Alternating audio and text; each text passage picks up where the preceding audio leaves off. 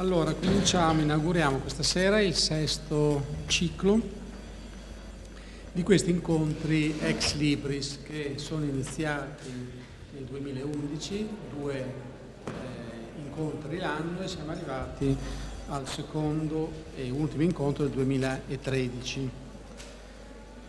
Eh, come sapete questi incontri sono sempre avvenuti all'interno di questa eh, di questa biblioteca con, eh, diciamo così, che queste appartengono un po' al nuovo, alla nuova immagine, al nuovo, eh, non voglio dire nuovo look, ma adesso dirò qualcosa, al nuovo stile di questa eh, biblioteca che si è data da un paio di anni. E questi incontri hanno un aspetto eh, come dire, scientifico, eh, e ideativo che è stato portato avanti dalla professoressa Spallanzani che è qua e dal professor Foresti che invece non è qua questa sera. E, e questa è stata l'idea e eh, sono stati mh, mm, ideati gli argomenti eh, di questi incontri che come sapete hanno sempre come filo rosso il leggere, da cui non è casuale che avvengono all'interno della biblioteca. Ehm, leggere nelle sue eh, varie forme, ma prima di entrare nel, nell'argomento dei nostri incontri, eh, volevo completare eh, la presentazione di tutti coloro che hanno ehm, contribuito in maniera assolutamente indispensabile all'organizzazione di questi incontri perché dicevo che oltre all'aspetto ideativo scientifico della professoressa Spallanzani c'è ehm, l'apporto assolutamente fondamentale della direttrice di, questo, di questa biblioteca e di tutto il personale che compone questa biblioteca, che vorrei cogliere l'occasione pubblica in privato, ho già detto loro più volte, ma volevo anche farlo pubblicamente, che questa biblioteca sotto questa nuova direzione, questo nuovo impulso del personale, ha, sta assumendo una identità che fino adesso non aveva avuto e un dinamismo che fino adesso non aveva avuto, di cui queste, mh, questi incontri sono la testimonianza più evidente, ma non soltanto questo.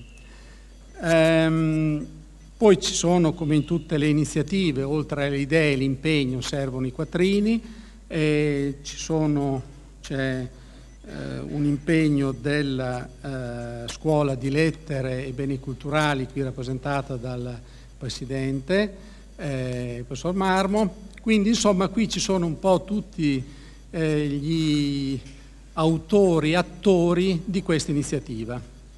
Finito questo aspetto dei ringraziamenti, ma che però sono assolutamente dovuti e sinceri da parte mia, volevo passare al all'argomento di questi incontri. Dicevo che questo è il sesto ciclo per il terzo anno consecutivo, spero poi che si andrà avanti anche nei prossimi anni, e eh, le, le tematiche che sono state affrontate fino adesso, dicevo che come filo rosso, filo conduttore hanno sempre il leggere per eh, essere in accordo col luogo in cui si svolgono. Eh, nel 2011 il tema è stato eh, adesso lo trovo, sono stato, eh, nel 2011 è stato, sì però non è proprio il libro, ma ehm, la metafora del libro, la natura, la definizione, la metafora del libro, argomento del 2011. Nel 2012 è stato gli stili cognitivi e le diverse modalità della lettura e eh, questa, questo ciclo del 2013 è leggere e studiare. Secondo me questa è stata un'idea particolarmente felice, lo posso dire ehm, a cuor leggero perché non è stata una mia idea, particolarmente felice perché è un po' come dire, il coronamento più alto del ruolo di una biblioteca all'interno di una eh, eh, sede universitaria, perché gli studenti, molti dei quali sono qua, ehm, leggono in vari modi, almeno due. Uno è la lettura per il tempo libero e uno è la lettura eh, per lo studio, che evidentemente hanno caratteristiche, impegno, lasciatemi dire impegno cognitivo, così mi ricordo che insegno psicologia cognitiva, impegno cognitivo molto diverso. No? Ehm, ed è interessante che su questo argomento si riesca a mettere eh, in piedi degli incontri con degli esperti. Abbiamo stasera il eh, professor Balzocchi e il professor Marmo, eh, che sono qua come esperti eh, di questi aspetti e credo che sia importante ehm, sapere, cioè ehm, venire a conoscenza di un qualcosa che empaticamente tutti sappiamo, tutti sappiamo che è diverso leggere il giornale dallo studiare o da leggere un libro eh, per lavoro, però ecco, riuscire a ehm, collegare queste idee all'interno di, eh, di due conferenze e poi di un confronto e auspico attraverso delle, delle domande che voi farete, credo che sia un appuntamento importante. Questo è quanto avevo da dire, volevo però adesso eh, passare la parola prima delle conferenze alla professoressa Spallanzani che è stata l'ideatrice di questi incontri.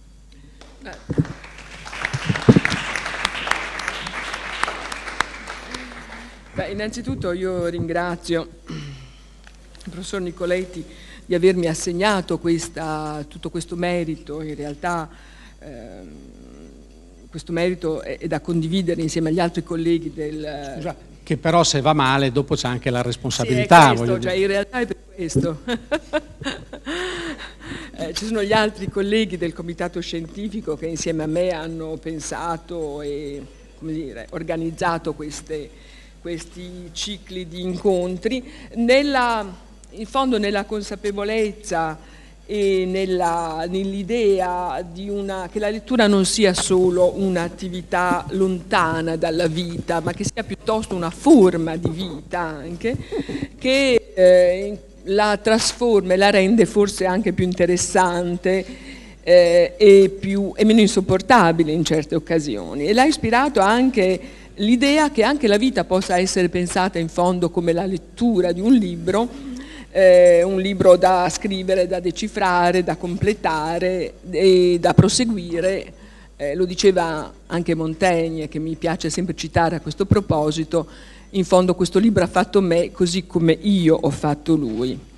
Eh, il primo, il primo, ricordo il primo incontro del primo anno che fu aperto dal rettore, il quale appunto ha rivendicato il ruolo fondamentale della lettura e della cultura del libro, eh, anche nella prospettiva della, addirittura più generale della fondazione di un nuovo umanesimo attento ai valori morali, ai valori dell'intelligenza, eh, vigile sulle scelte politiche e intransigente sulla difesa della libertà. E l'avevamo, eh, e l'avevamo ribadito anche in occasione dell'apertura del terzo ciclo, questo è il sesto, quando eh, il rettore aveva indicato nelle biblioteche i luoghi dell'esercizio e della pratica di tale umanesimo, che è una cultura dell'uomo, dell'uomo di ieri come dell'uomo di oggi, di domani, costruita anche sulle fatiche delle ore trascorse in biblioteca, sui libri, eh, illumina, illuminate. Eh, ricordo questa, questa frase che mi sono segnata, eh, biblioteche illuminate eh, nella notte dalle luci dei lettori, proprio come la BDU in fondo che nella via Zamboni eh, tiene accesa eh, le sue, le, sue, le, sue, luci. E questa immagine del rettore che ci aveva consegnato, queste lucine che traspaiono dalle finestre, eh, mi sembra quasi un emblema dei nostri incontri, cioè queste lucine che sono qua e là e che ci indicano eh, questa strada anche di questa conversazione, eh, che il libro come conversazione, la, gli autori come, di libri come, come amici possiamo, eh, con cui possiamo interrogare, che possiamo anche far tacere quando non ne abbiamo più voglia, sempre Montaigne. Eh, leggere e studiare è il, è il titolo di, del seminario di quest'anno eh, in cui noi abbiamo eh, cercato anche di trovare un dialogo eh, piuttosto ampio con, delle, con, altre discipline. Abbiamo cercato in effetti di convocare eh, discipline scientifiche e a mh, consegnarci eh, l'epistemologia delle loro letture. Voglio dire che appunto cioè, abbiamo la consapevolezza che leggere e studiare sia una cosa molto diversa a secondo dei campi eh, che eh, la lettura e lo studio investono. E devo dire che il seminario, eh, la prima parte del seminario che abbiamo concluso a maggio e questo seminario che riprende eh, questo stesso titolo, ha confermato la pluralità delle voci che abbiamo, la pluralità delle modalità di lettura, abbiamo avuto i medici, abbiamo avuto eh, i veterinari, eh, avremo gli storici, abbiamo gli psicologi, eh, eh, per chiarire in fondo ehm, che questa, questa, molteplicità di accessi cognitivi, come diceva il professor Nicoletti, alla lettura che non è un'attività univoca, e ma, ecco. e questo, ed è molto complessa e anche molto problematica, tanto da suscitare addirittura varie interpretazioni che fin dall'inizio hanno segnato le diverse culture del libro. Eh, colleghi, la parola quindi va ai colleghi Bazzocchi e eh, Marmo proprio perché ci dicano eh, come, eh, che cosa significa leggere e studiare questa cosa generalissima a partire dalla discipline che ehm, praticano. Grazie.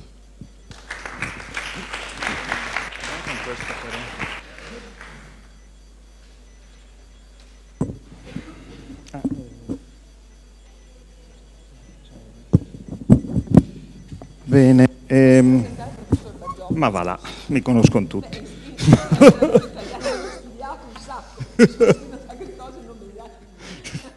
allora, io sono molto legato a questa biblioteca, eh, anche se quando, devo dire che quando mh, la, la, frequentavo assiduamente, cioè non come adesso che vengo a prendere un libro ogni tanto, ma quando la frequentavo assiduamente, ehm, questa biblioteca era secondo me una specie di eh, di pasticceria per un bulimico, cioè era una roba dove uno entrava e allora non c'erano schedari, schedari telematici o, o, informatici, per cui eh, era, già, era, già, un gusto poter guardare nello schedario cartaceo. Eh, io avevo fatto un patto con eh, le bibliotecarie, non di questa biblioteca perché non ero in confidenza, ma della mia biblioteca che allora era già la biblioteca del, del Dipartimento di Italianistica qui di fianco, il patto era, io avevo chiesto loro di essere chiuso nei sotterranei della biblioteca per qualche pomeriggio alla settimana, io naturalmente mi impegnavo a sorvegliare i sotterranei, non rubavo libri, ma stavo chiuso di sotto, eh, tipo dalle 2 alle 6 di sera, e, e, e devo dire che quel, tutto quello che ho studiato eh, ho letto, l'ho letto in quell'occasione lì. Eh, nei sotterranei si stava benissimo perché erano molto caldi d'inverno e molto freschi d'estate e non c'era nessuno che parlava, eh, una volta all'ora scendevano appunto a prendere i libri ma non era un fastidio, eh, non era un fastidio che, che, che, interrompesse il lavoro. Il problema è che appunto ehm, io non, in realtà io non studiavo eh, e forse neanche leggevo, come dire, io eh, mi divertivo a, a, guardare tanti libri, ecco, eh, non so, a leggere una pagina di un libro, una pagina di un altro, pa- perché in realtà mi, piaceva, mi piacevano tutti poi i libri che erano lì, nel senso che magari dovevo partire cercando una cosa, ma poi mi perdevo, non era per me quello. Non era per me mai possibile tornare a casa avendo realmente fatto il compito che mi ero eh, preposto o prefisso. Dunque, mh, mm, quando, quando, la mia cara mh, mm, collega e amica Maria Franca mi ha proposto, ha proposto questa, questo tema, leggere e studiare, io ho cominciato un po' a pensarci, ma um, ci ho pensato, eh, ho pensato in che modo porre questa distinzione. Eh, prima Nicoletti ha detto appunto un, due modalità cognitive. Allora, eh, ho cercato di, di, risalire di, risalire un po', indietro nel tempo e di fare una specie di ricognizione. Eh, innanzitutto questa differenza esiste o non esiste? Eh, dunque esiste secondo me mh, ed, ed esiste soprattutto nei nostri giorni perché, lo ha detto anche prima Maria Franca, in un certo senso oggi la lettura è diventata una specie di stile di vita, no? Cioè l'immagine del lettore è diventata non più un'immagine professionista o professionale, ma è diventata qualcosa che sta a metà tra l'utilizzare bene il proprio tempo, eh, avere, avere, degli interessi e ehm, capitalizzare qualche esperienza intellettuale. Cioè, mm, voi lo, vedete anche intorno, no? Eh, questa è una cosa che è nata forse alla fine, a metà degli anni Ottanta, pressappoco. Poi vi dico perché a metà degli anni Ottanta cerco di dirvelo meglio. Però è nata, cioè questa idea di definire lettore chiunque, no? chiunque volesse guardare le cose intorno a sé.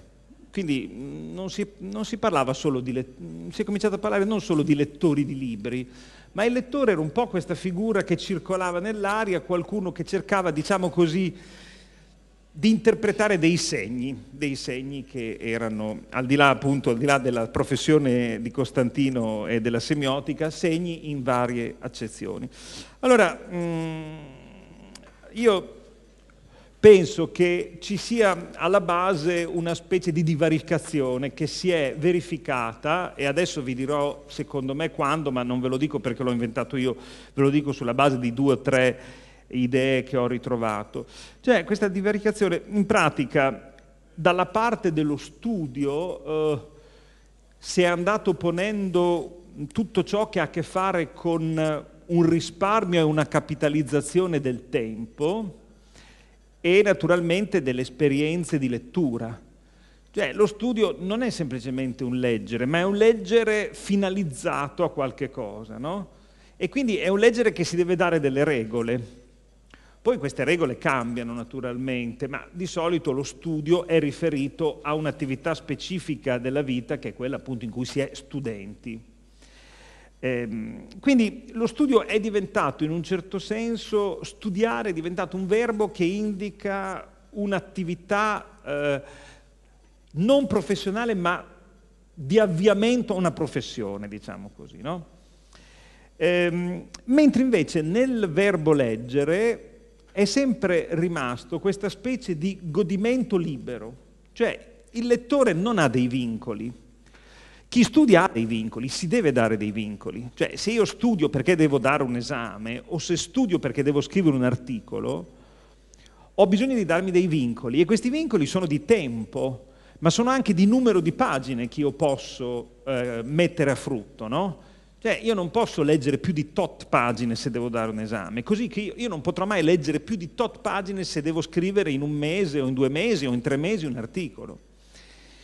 Ecco, dalla parte dello studiare dunque c'è qualcosa di virtuoso secondo me, eh, di virtuoso e un po' anche se volete nell'ottica di un'etica, un, quell'etica protestante, spirito del capitalismo, come avrebbe detto Weber, no? Cioè studia perché devi arrivare a, una, a un certo risultato.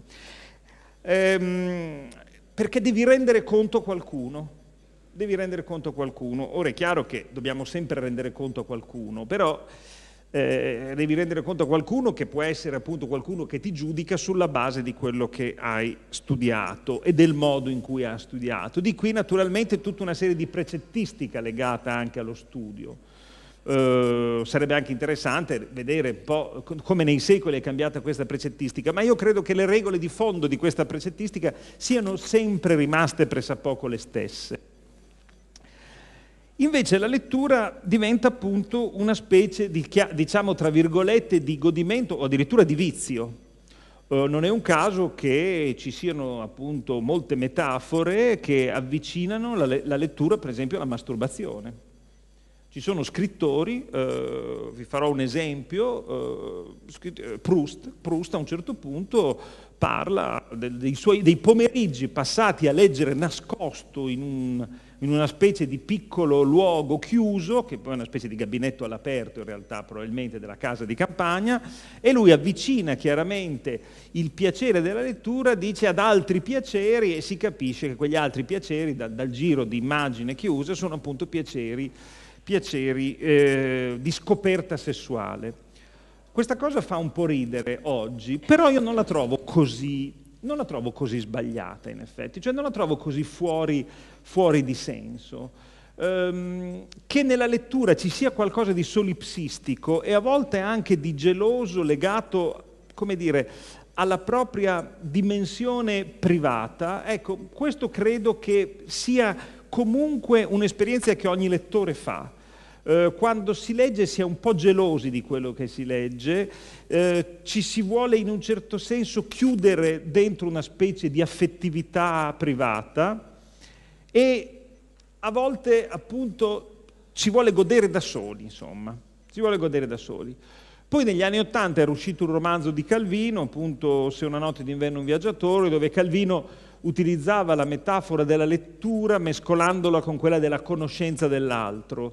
In questo romanzo il lettore si chiama lettore, la lettrice ha dei nomi femminili e poi alla fine insomma, il romanzo finisce con il lettore e la lettrice che vanno a letto insieme e quindi in un certo senso era un leggere, un leggere che portava dentro anche una specie di, di, di norma familiare. Mm? Ehm, però le cose non sono così semplici. Eh, probabilmente, probabilmente l'avete già sentito dire, per cui non vi sto neanche a leggere il passo, che la prima testimonianza che noi abbiamo appunto sulla prima testimonianza culturale sulla lettura come attività risale a Sant'Agostino eh, e al fatto che Sant'Agostino nelle confessioni, qui, il rettore qui è contento, però del resto non è così. È così, sì, sì. Ehm, che Sant'Agostino nelle confessioni dice che lui a un certo punto, voi sapete che africano, no? però finisce, eh, finisce, a Milano e a Milano si incontra il suo padre spirituale, diciamo così, che è Sant'Ambrogio.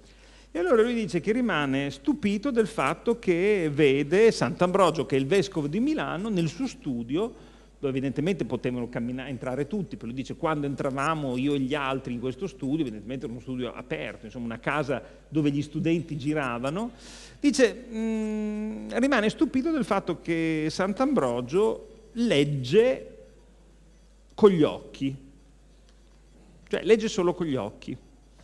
Dice i suoi occhi scorrevano sulle pagine e la mente ne penetrava i concetti mentre la voce e la lingua riposavano. E questa probabilmente è la prima testimonianza della lettura come la intendiamo noi.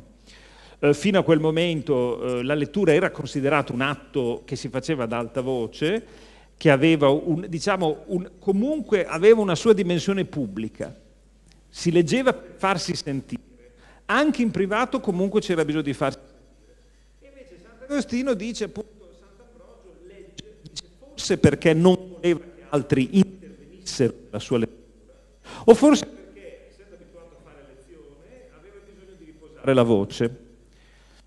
E que- questa è una cosa che a me appunto mi ha sempre colpito, il fatto che noi possiamo definire fisicamente quando avviene il primo atto di lettura come la intendiamo noi, la lettura appunto con la testa su, sul libro e con, eh, con gli occhi fissi sulle pagine. Un po' più difficile sarebbe appunto invece quando avviene la prima, quando si comincia a parlare di studio. Quando si comincia a parlare di studio. Um, Roland Barthes, che era abbastanza esperto di lettura e, e in un certo senso è un po' uno dei personaggi chiave di quello che è successo tra gli anni 60 e gli anni 80 in Europa per quanto riguarda una modificazione del modo con cui abbiamo concepito anche tutte queste attività di lettura, interpretazione e tutto quello che era legato a, al mondo della, della, cultura umanistica, diciamo così. Ecco, Roland Barthes fa un discorso abbastanza interessante, che è questo, che in un certo senso eh, non solo eh, la pagina di Sant'Agostino ci documenta quando nasce la lettura, ma ci documenta anche quando ehm, la corporeità viene eh, messa sotto controllo attraverso la lettura. Cioè io non leggo più ad alta voce, non leggo più in piedi, non leggo più di fronte a un pubblico, ma sono nel mio studio a leggere con gli occhi sulla pagina. E Barth dice che questo è eh, una specie di, proprio di punto, una svolta epocale. E, ehm, e subito dopo aver citato questa cosa, Barth dice che in un certo senso nasce, lui, lui lo chiama un modello cristiano, cristiano in senso lato naturalmente, un modello cristiano di lettura ed è una lettura che non implica più la presenza della corporeità, è la lettura che non passa per il corpo, cioè una lettura trasparente, una lettura appunto che, che perde, perde in densità, diciamo così.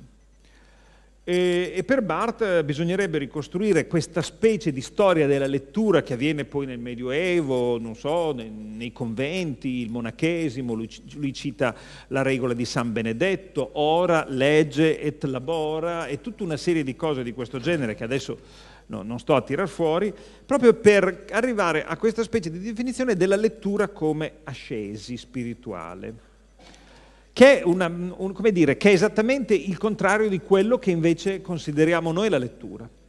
Eh, se qualcuno di voi ha letto, come immagino, il romanzo di Calvino, si ricorda che il romanzo di Calvino, io lo, lo, l'ho sentito, eh, è una cosa strana, Calvino fece una mossa molto strana, prima di farlo uscire venne letto l'inizio del romanzo di Calvino in televisione. Io mi ricordo perfettamente che stavo guardando il telegiornale eh, e ho sentito per qualche minuto la lettura delle prime pagine di Se una notte d'inverno un viaggiatore dove Calvino si rivolgeva al lettore e gli diceva praticamente mettiti comodo, stai steso, stai seduto, eh, mettiti sulla poltrona che ti piace di più, se vuoi mettiti su una maca, se vuoi mettiti a testa in giù, se vuoi mettiti con le gambe incrociate, insomma era tutta una serie di, dire, di consigli performativi al lettore per, ehm, per introdurre appunto questo, questo libro che doveva contenere tutta la gamma dei piaceri della lettura. No? Ecco, a pensarci bene, la lettura, eh, la lettura, completamente opposta di quella origine della lettura di cui parla Sant'Agostino e che Barth dice la lettura come ascesi. Eh, però eh, Barth si dice anche, ma Com'è possibile che fino che ai nostri giorni, che noi insomma, noi ehm, invece connettiamo al tema della lettura il godimento? Perché eventualmente potremmo dire che l'ascesi, la regola, l'ordine sta da parte dello studio. Eh, lo studio ha anche, anche, delle modalità fisiche, no? Cioè, eh, se studi sì, puoi studiare anche steso nel letto, stravaccato, però studio implica, implica un'attenzione, un'attenzione anche posturale, no? posturale tutti siamo stati tormentati dal fatto che bisogna studiare seduti in un certo modo perché dopo altrimenti ti rovini la schiena, ti viene la scogliosi, eccetera, eccetera. Devi avere una certa luce, devi essere, poi quando abbiamo cominciato a usare il computer, devi essere a una certa distanza dal computer perché perdi la vista. Cioè tutta questa precettistica, no? questa precettistica che che, che, che, negli anni abbiamo sentito attorno a noi, era tutto, se ci pensate bene, era tutta una modalità di configurazione posturale del corpo dello studio. E questo è molto interessante pensarci bene, perché tutto quello che non è postura giusta o che non è regola va dalla parte invece della lettura. Leggere puoi leggere, puoi leggere in qualsiasi modo, appunto, stravaccato sul letto, gambe incrociate, a testa in giù, a testa in su, eccetera, eccetera. E allora Barth dice, in effetti c'è un momento in cui tutto questo cambia.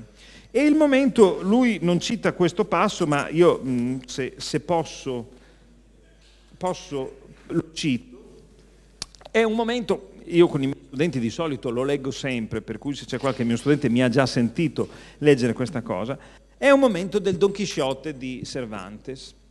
Eh, dal punto di vista cronologico, eh, Montaigne e Cervantes sono due contemporanei. No? Non è un caso che Maria Franca, che conosce bene Montaigne, abbia citato Montaigne, ma direi che in questo momento cambia qualcosa, cambia qualcosa. Sì, ho detto stravaccati, però non caduti per terra, magari, sì. Dunque, eh, cambia qualcosa. La frase che Maria Franca ha citato, cioè Montaigne che dice no, io scrivo il libro non più di quanto libro, io stesso sia scritto dal libro, entra in questa atmosfera. Allora, voi sapete, la, la, questione di Cervantes è una questione che ci tocca tutti da vicino in realtà, perché eh, Cervantes aveva capito una questione che ancora oggi noi eh, non possiamo fare a meno di porci, con forme diverse, ma la questione è questa. Eh, leggere rovina la nostra immaginazione, è esattamente quello che continuamente ci chiediamo oggi. Oggi magari diciamo non leggere, guardare la televisione, guardare un film, eccetera, eccetera, ma la, la, la, la domanda è la stessa, cioè fino a che punto la nostra immaginazione può essere plasmata, dice Cervantes, dalla lettura di testi che ti fanno diventare matto, che ti fanno diventare matto, no? Allora c'è questa, eh, se qualcuno di voi ha letto il Don Chisciotte sa che nel Don Chisciotte ci sono due figure molto simpatiche che sono il canonico e il barbiere, che sono quelli che vorrebbero far tornare eh, Don Chisciotte alla saggezza. No? Mm, c'è una scena dove lo mettono in gabbia, lo vogliono convincere appunto che deve, deve ritornare saggio.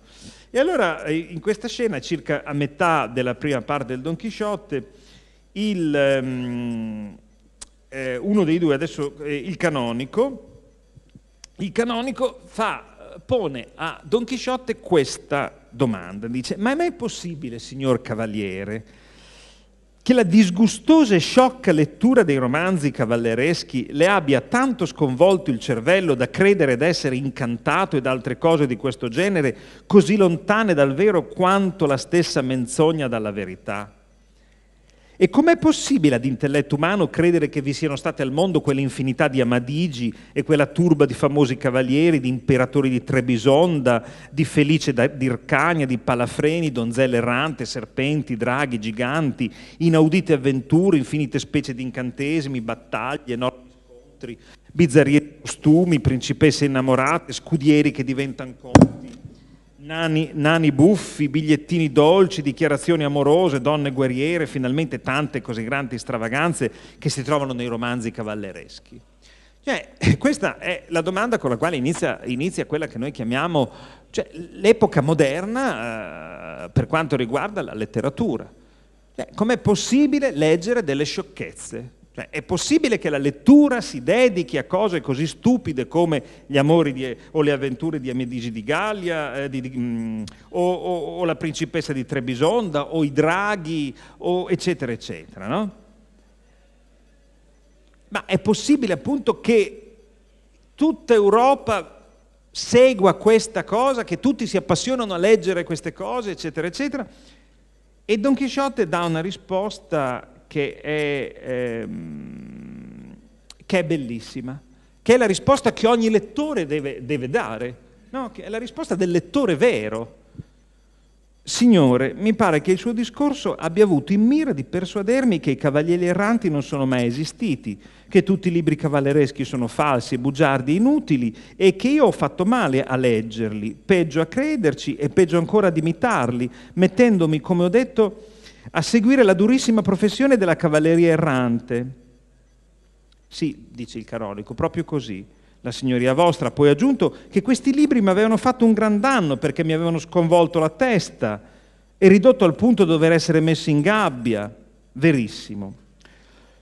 Ora, io dal canto mio ritengo che l'insensato e l'incanto sia proprio, scusate, l'insensato e l'incantato sia proprio la signoria vostra, dal momento che si è messa a dire tante bestemmie contro un fatto così accettato nel mondo e ritenuto tanto vero che chi lo negasse, come fa lei, meriterebbe la medesima pena che la signoria vostra dice di voler infliggere ai libri che legge. E qui Don Chisciotte comincia a fare una difesa incredibile di tutto quello che ha letto, una, due pagine bellissime dove lui dice qual è il più grande piacere? Il più grande piacere è appunto mettersi lì e sentire che a un certo punto c'è una principessa eh, prigioniera un drago la sta per uccidere, arriva un cavaliere e la libera. Oppure pensare che c'è un lago dal quale improvvisamente esce una mano con una spada magica che viene donata a un cavaliere. Questo è il più grande piacere. Ora, la difesa di Don Chisciotte è appunto momento, è l'altro grande momento di, ehm, come dire, l'altro grande momento proprio epocale, no? La lettura è una trasgressione ed è una trasgressione talmente forte che modifica il nostro modo di vedere la realtà. Cioè, e è, appunto, questo è il punto che da Cervantes a, Flaubert, che da Flaubert a Proust, che da Proust a Calvino, nessuno scrittore ha mai, ha mai voluto né potuto negare. Cioè, la vera trasgressione è la lettura di godimento. Nella lettura di godimento, nella lettura di piacere ci sono tutte queste cose, c'è l'immaginazione, c'è la, la, la, fantasia sfrenata, c'è il corpo che trova un altro, un altro tipo di dimensione per, per, eh, eh, per entrare in rapporto con la realtà. E la società occidentale, come la conosciamo noi, cioè il mondo del quale siamo in un certo senso figli e prodotti, da questo momento in poi non ha potuto fare a meno di vedere la divaricazione fra queste due cose. Leggere è abbandonare la verosimiglianza, ma anche abbandonare qualche cosa di più importante.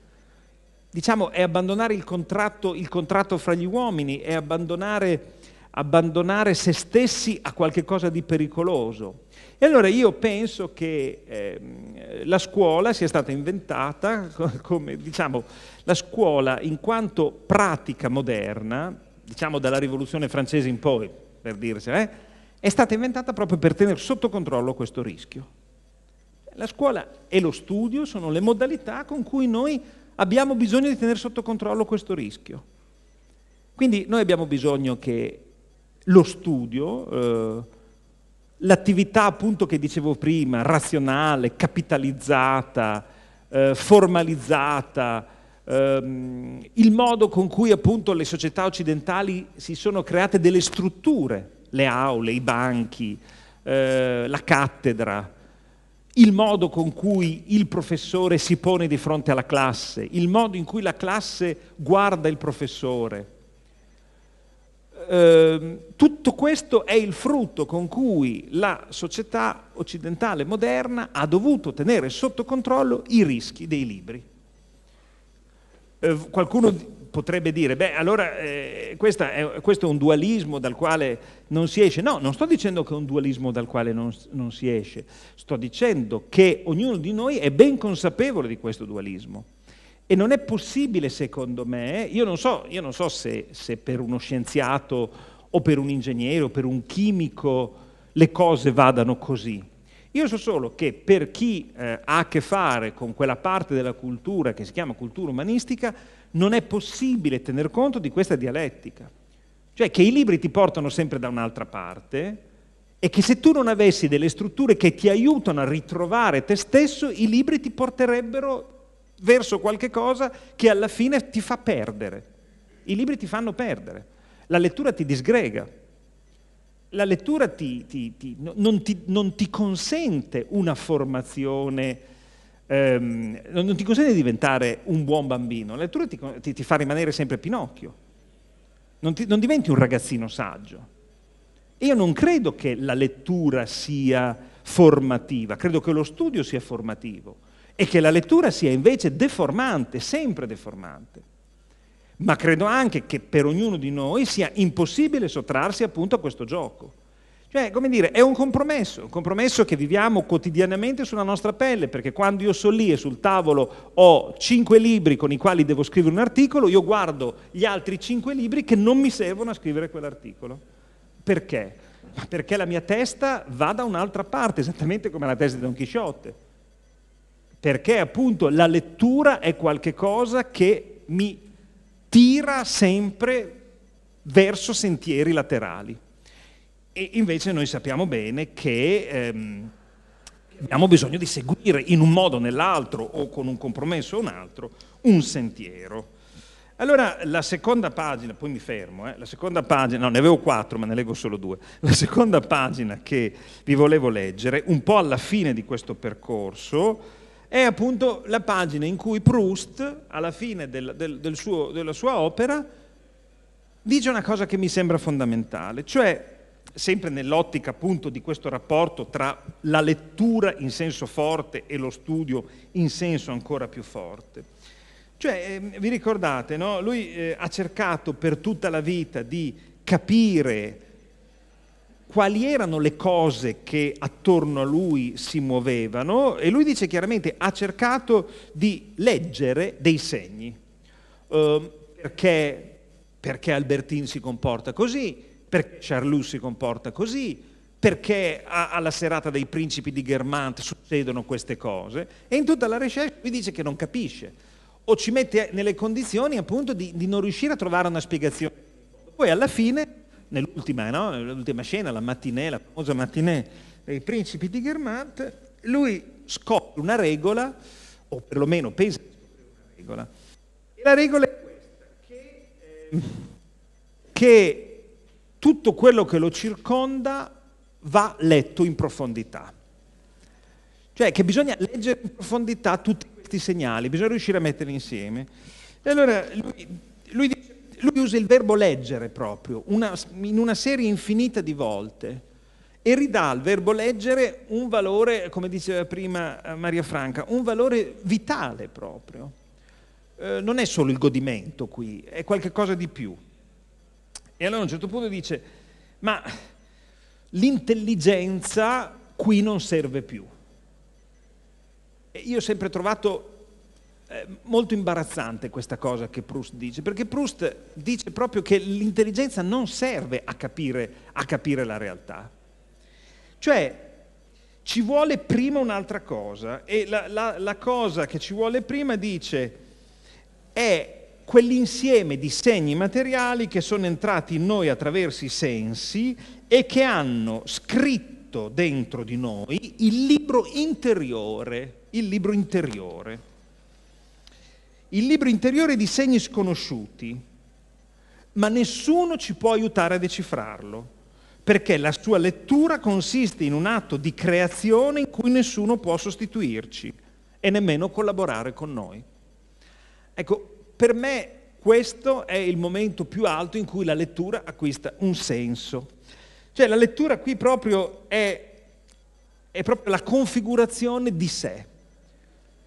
Cioè, ehm, non è la disgregazione di cui parlavo prima, non è l'andare a perdere se stessi, non è il seguire i fantasmi, non è il seguire le chimere, ma è l'interrogarsi quotidianamente su, questi, su questo libro che ci portiamo dentro. E questo libro che ci portiamo dentro è una specie di cura di sé. Leggere in questo libro diventa cura di sé.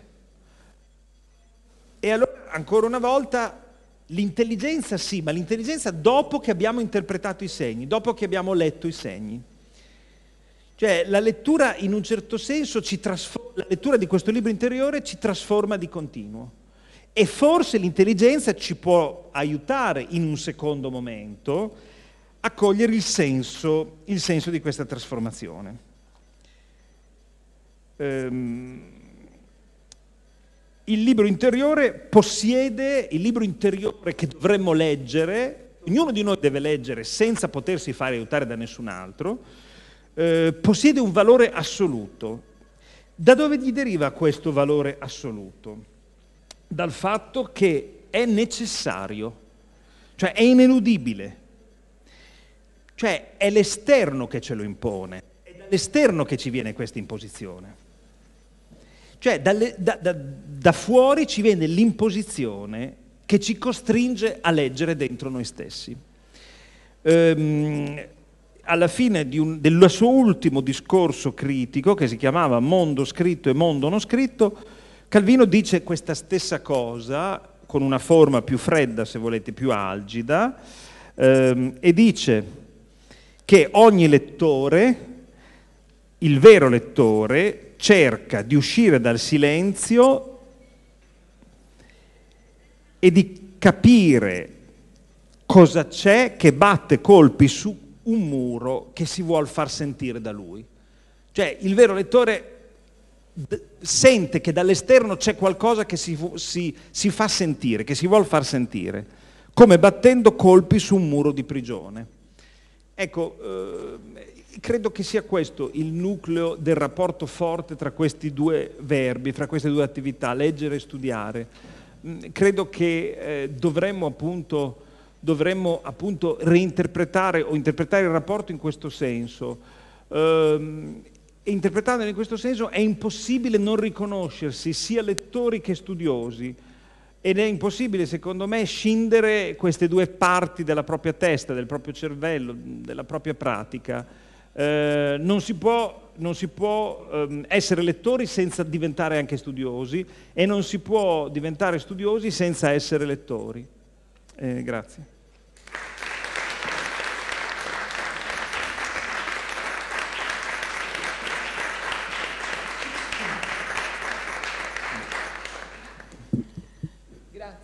Grazie molte.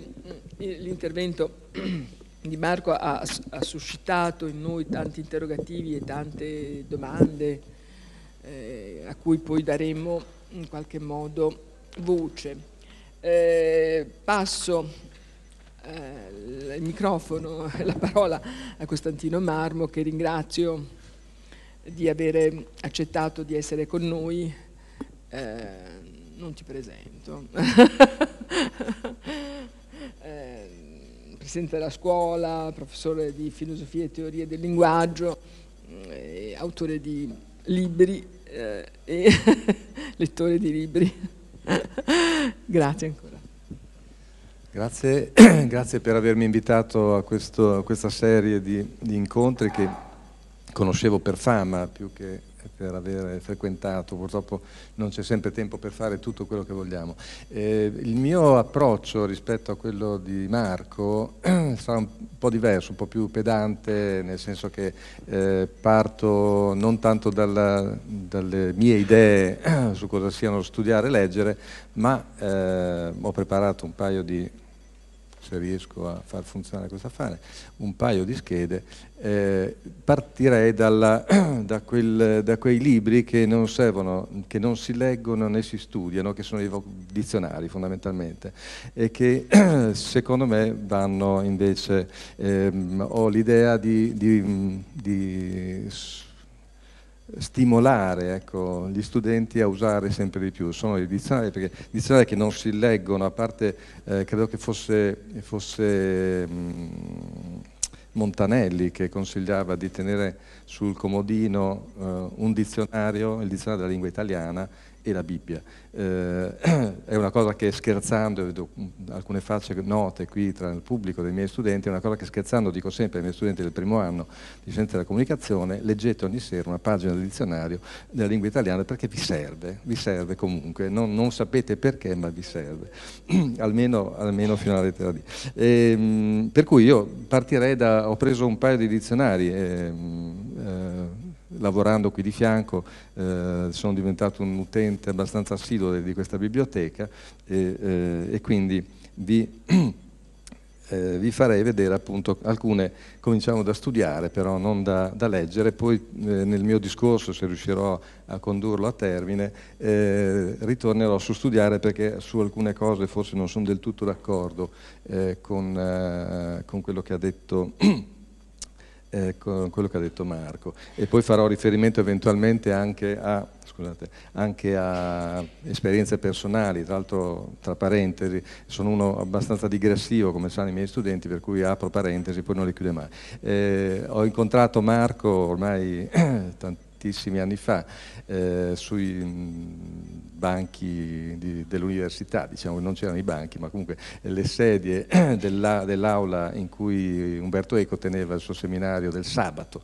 Eh, udite, udite, una volta si facevano i seminari anche il sabato mattina e eh, questi seminari erano seminari diciamo così avanzati, noi eh, erano fine anni 70, inizio anni 80, eh, proprio gli anni in cui usciva tra l'altro sia eh, il libro di Calvino di cui si è parlato, sia il nome della rosa, insomma sono anni molto molto pieni di, di, di, opere interessanti. E eh, poi ci siamo rincontrati anche, e, e anche questo secondo, incontro mh, vorrei riprendere più avanti perché ci siamo rincontrati eh, anni dopo, negli anni 90, attorno a, una, uh, un progetto che abbiamo portato avanti eh, 93, dal 93 in avanti e questa enciclomedia di cui ancora si parla, tra l'altro vedo, che era uh, uno dei primi ipertesti multimediali uh, che abbiamo appunto progettato e scritto insieme, io facevo un po' da coordinatore editoriale e lui era tra i miei autori, diciamo così. E, e, poi eh, appunto vole, vorrei eh, tenere presente questo, questo episodio perché eh, la questione della, della lettura, dell'ipertesto che allora eh, si presentava come una diversa modalità di lettura dei testi eh, può tornarci, tornarci utile. Quindi partirei da, questi, da queste definizioni dizionariali cominciando naturalmente dall'etimologia eh, etimologia lontana, perché eh, in realtà ehm, l'etimologia sarebbe studio, appunto, eh, il verbo che è attestato in italiano già dal XIII secolo, e il, eh, in realtà che deriva da studio studere, eh, adoperarsi con diligenza, con, applicarsi con zelo, aspirare, desiderare, cercare di ottenere qualcosa, occuparsi vivamente di qualcosa, anche studiare appunto, e, eh, tutto ciò, e si lega anche a proprio una, una passionalità che, ehm, su cui vorrei tornare proprio alla fine, desiderio, amore, gusto, passione, interesse, predilezione e propensione. Ehm, ho preso due dizionari, il De Mauro e Sabatini Coletti per, eh, che presentano anche alcune dif differenze su cui vorrei soffermarmi e, e, alcune caratteristiche molto utili, parlo sempre per i miei studenti. Eh, vedete che prima di ogni eh, significato, mh, hm, di elencare una serie di significati, presenta una uh, sigla, FO, oppure CO qua sotto. Eh, FO eh, fa riferimento, è una cosiddetta marca di frequenza. Cioè, eh, il, questo, il dizionario, il Gradit, il grande dizionario della lingua italiana di De Mauro, è un dizionario dell'uso fondamentalmente dell'italiano e eh, si sono premurati di eh, misurare in qualche maniera qual è la frequenza delle parole, dei significati, ecco non delle parole, dei significati, di certi significati delle parole e, eh, e hanno suddiviso diciamo così, queste marche di frequenza in diversi livelli di competenza che sono richiesti per comprendere determinati significati. Eh, FO eh, fa riferimento al, alla dizionario dizionario al lessico fondamentale, cioè quello che eh, più o meno tutti, eh, tutte le persone eh, che hanno un livello minimo, cioè minimo, un livello eh, medio, diciamo così, di istruzione dovrebbero avere. E comprende, mi pare, una 5.000 termini con i loro significati, mentre eh, co è, eh, invece fa, eh, un po' fuorviante perché vuol dire comune, mh, mm, lessico comune, in realtà è una, un livello più avanzato, cioè è il livello di competenza lessicale che eh, dovrebbe avere una, una, una, persona che ha eh, compiuto studi superiori fondamentalmente, cioè quello che fondamentalmente dovrebbero avere i nostri studenti che eh, le matricole mh, mm, del primo anno. E eh, scorrendo molto velocemente troviamo appunto che eh, studiare, apprendere o elaborare un argomento, una disciplina, una tecnica, un'arte, applicandosi metodicamente con il sussidio di libri o di altri strumenti, con o senza la guida di un insegnante. Questo diciamo, è il significato fondamentale, è anche quello che descrive quello che in termini di semantica, eh, semantica dei frame alla Fillmore, eccetera, eccetera, eh, è il, diciamo, la scena prototipica dello studio, quella che un po' descriveva prima eh, anche, anche, Marco, e cioè del, dello star seduti composti e del eh, seguire linearmente, metodicamente, applicarsi, quindi con metodo e alla eh, lettura principalmente, come vedete il libro viene in prima, in prima battuta perché è sul libro fondamentalmente che eh, si, si, si mh, esplica principalmente, esemplarmente lo studio e poi è molto importante anche l'osservazione con o senza la guida degli insegnanti perché fa proprio riferimento al fatto che uno può anche studiare da autodidatta, hm? non c'è bisogno che segua l'insegnamento di nessuno, eh, uno può essere autodidatta e a quel punto eh, succedono un po' le cose che raccontava prima, cioè che eh, uno abbia una formazione lacunosa poi alla fine, perché eh, se non c'è una guida, quello che dico sempre agli studenti, l'università nasce proprio per eh, costruire, per accompagnare gli studenti nella eh, propria formazione. No? la scuola funziona proprio così, cioè c'è bisogno di qualcuno che ti eh, faccia seguire delle tappe, dei gradini per raggiungere determinati obiettivi cognitivi. E appunto la guida degli insegnanti diventa importante eh, se uno non vuole essere un autodidatta. Ehm, poi vedete che una, ci sono anche nei dizionari delle, delle, abbreviazioni, tr sta per transitivo, intr sta per tra, intransitivo, dico delle banalità però eh, lasciatemele dire, eh, as invece eh, significa eh, assoluto, mm? eh, cioè quando il verbo può, eh, indica che questo verbo può essere usato anche in modo da solo, diciamo così, senza cioè un oggetto che sia eh, diretto, un complemento oggetto per intenderci. E infatti e questo corrisponde al seguire regolarmente un corso di studio, eh, come quando appunto qualcuno chiede eh, a qualcuno di voi che fai? Studio. Hm? Studio senza nient'altro. E poi se uno vuole avanti, andare avanti nel, nel dialogo chiederà ma che cosa studi e qui passa quindi dall'uso assoluto all'uso transitivo del verbo. E poi ci sono altri, altri significati, esaminare, considerare, scogitare, che sono più, eh, più, specifici, diciamo così, e poi l'ultimo è controllare, misurare i propri atti o le proprie parole. Cioè, quindi è che fondamentalmente eh, potete pensare al, a un comportamento studiato, mh, eh, eh, questa è l'accezione appunto della, di questo tipo di di parola. E il Sabatini Coletti è invece un dizionario eh, che diverge un po' proprio su questo aspetto eh, del transitivo assoluto. Quello che dà per scontato un po' eh, De Mauro è che sia lo stesso verbo fondamentalmente che si può presentare con un oggetto oppure senza oggetto. Hm? ma non, non, sono due accezioni diverse. Invece Sabatini Coletti fa, eh, distingue proprio un, un verbo transitivo, hm? che è quello che ha un oggetto, e quindi studiare qualcosa fondamentalmente non è che cambi molto, anche qui ci sono i libri in prima battuta, altri strumenti e anche l'eventuale guida di un insegnante o meno e eh, poi gli altri che abbiamo visto, c'è, eh, questo che è diverso, ecco, questo senso antiquato, antico, obsoleto, che è affrettare qualcuno che si trova in Dante purgatorio, al, nel purgatorio quando, poco prima di incontrare di passare, insomma, c'è un muro che separa il purgatorio dal, dal, paradiso, al di là del muro c'è Beatrice e, e, e, e Virgilio dice a Dante non vi arrestate ma studiate il passo, okay? quindi eh, affrettatevi. E, vedete che eh, distingue proprio completamente il senso transitivo dal senso intransitivo. Hm? perché una, c'è un'attenzione, questo dizionario, un'attenzione particolare per le strutture sintattiche fondamentalmente. Siccome ha un comportamento sintattico diverso, allora ha, è un senso diverso, è un senso eh,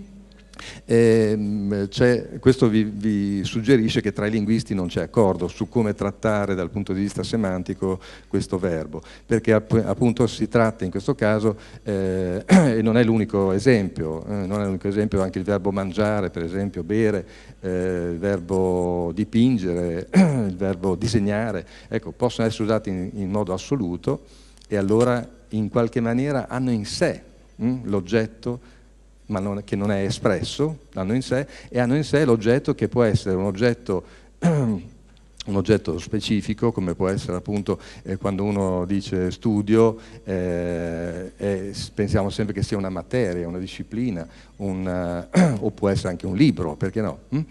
Però appunto l'oggetto non è definito in maniera precisa.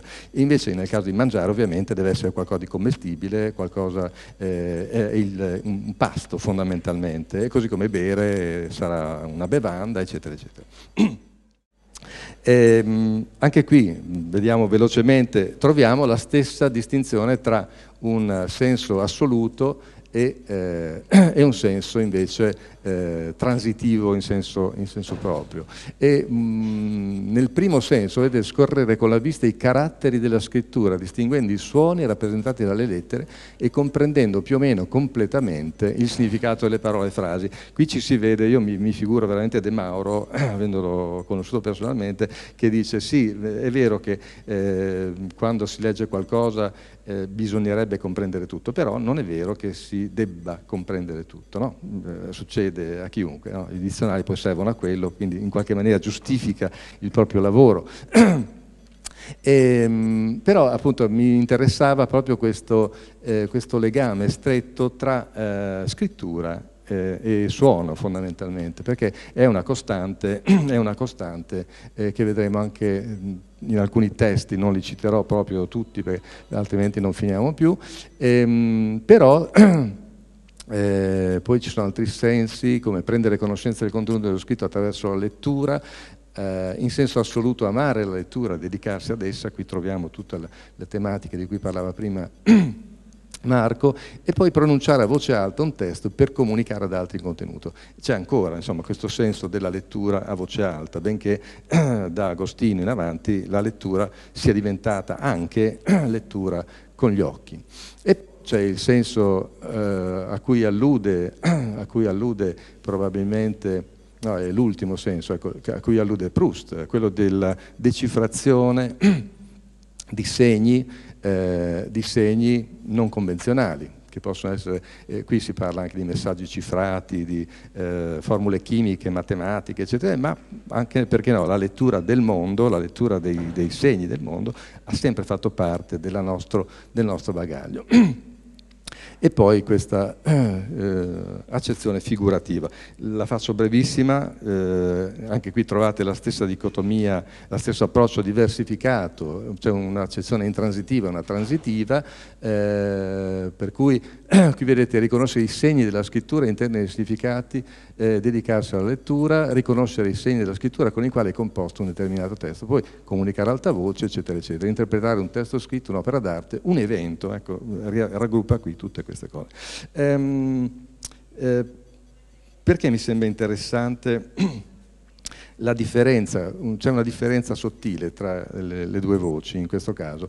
Eh, De Mauro fa riferimento ai caratteri, ai caratteri della scrittura, mentre Sabatini Coletti parla di segni della scrittura, perché Sabatini Coletti tiene presente il fatto che eh, le scritture, le forme di scrittura sono molto diverse e non tutte sono alfabetiche, ovviamente. Noi parliamo di leggere anche per quando parliamo di un giapponese che eh, affronta un testo scritto in giapponese, il giapponese sapete che eh, non ha un, un, alfabeto, è un sillabario, è un sillabario quindi ha 106 caratteri eh, che stanno per delle sillabe, i quali composti insieme danno delle parole polisillabiche. Quindi In più ci sono anche i kanji, cioè i caratteri eh, cinesi eh, importati nell'VIII secolo addirittura in Giappone, che eh, si integrano con, con, questi, con, questo sillabario hiragana e eh, la lettura del giapponese vi assicuro che può essere eh, eh, è molto difficile, ci, ci, mettono dieci anni per imparare a leggere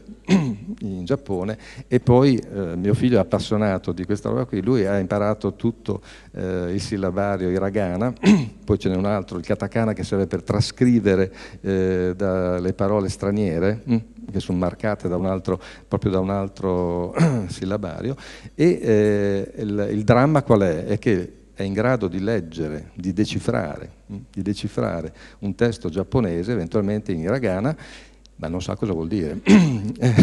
Primo perché non ci sono gli spazi che delimitano le parole. Nei libri giapponesi non ci sono gli spazi, uno deve sapere già dove si ferma una parola, quindi richiede una competenza lessicale pazzesca. Per essere... In più eh, i kanji si leggono in almeno tre modi diversi, è, è, una cosa... Io ho provato anni fa, dovevo andare in Giappone, ho provato a imparare un po' di questo sillabario, vi assicuro che è un'impresa disperata, per uno soprattutto come me che non ha memoria eh, visiva e quindi alla fine sono tutti uguali, eh, non, non, riesco a, a leggere niente. Ecco.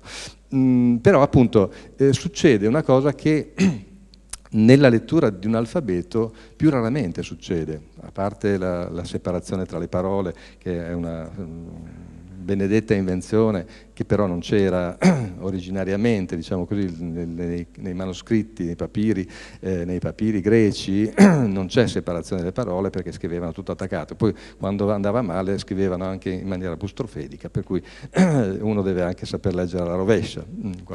E, e lo stesso succede con i manoscritti latini. Nei manoscritti latini è già un po' più eh, si afferma nel Medioevo la divisione, una sorta di punteggiatura che aiuta a decifrare le parole, però appunto uno deve, eh, non, succede più raramente che uno legga qualcosa e non capisca assolutamente né dove inizia la parola eh, né dove finisca e, e, soprattutto che cosa vuol dire quella, quella, quella sequenza di lettere.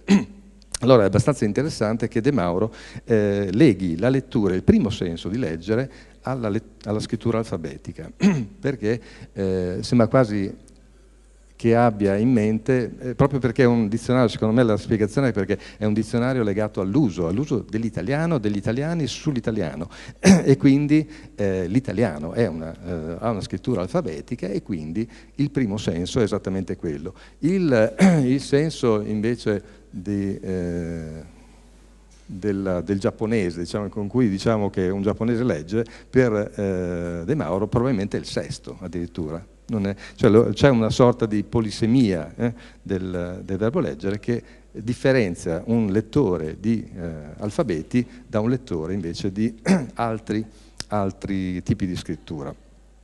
Ehm, detto questo, come premessa generale vi avrò già steso come pedanteria, eh, eh, mi serve perché eh, ci sono, emergono da, questa, eh, da questi, anche solo da, queste, da questi testi eh, di dizionario delle, eh, delle costanti, diciamo così, che sono state in parte già richiamate.